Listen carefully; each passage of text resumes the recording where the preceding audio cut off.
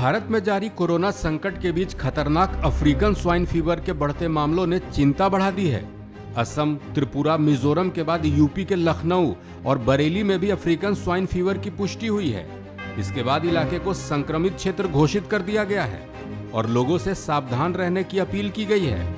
दरअसल, जिस इलाके में अफ्रीकन स्वाइन फीवर के मामले मिलते हैं भारत सरकार की एडवाइजरी के मुताबिक उसके एक किलोमीटर के दायरे को संक्रमित क्षेत्र घोषित कर दिया जाता है। इस क्षेत्र में आने वाले सभी सुअरों को क्वारंटीन कर दिया जाता है। इसके अलावा पशुओं को लाने और ले जाने पर रोक लगा दी जाती है। अफ्रीकन स्वाइन फीवर को बेहद खतरनाक और संक्रामक माना जाता है। मेडिकल एक्सपर्ट के मुताबिक अफ्रीकी स्वाइन फ्लू और अफ्रीकन स्वाइन फीवर में अंतर है। अफ्रीकन स्वाइन फीवर एक संक्रामक वायरल बीमारी है। ये जंगली और पालतू दोनों सुअरों को प्रभावित करता है।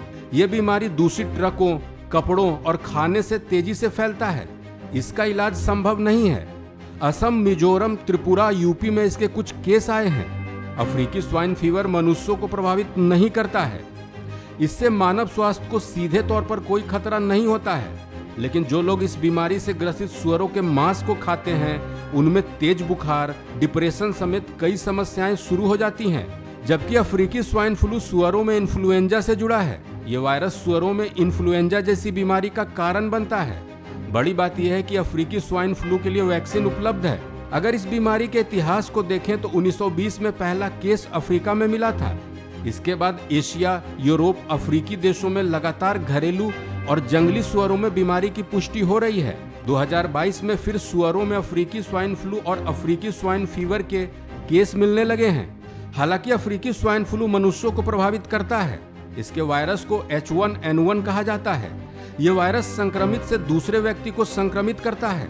संक्रमण की अवधि एक से सात दिनों तक रहती है। संक्रमित मनुष्य में सिर दर्द, शरीर में दर्द, बहती नाक, गले में खराश, थकान, उल्टी, बुखार जैसे लक्षण देखे जाते हैं।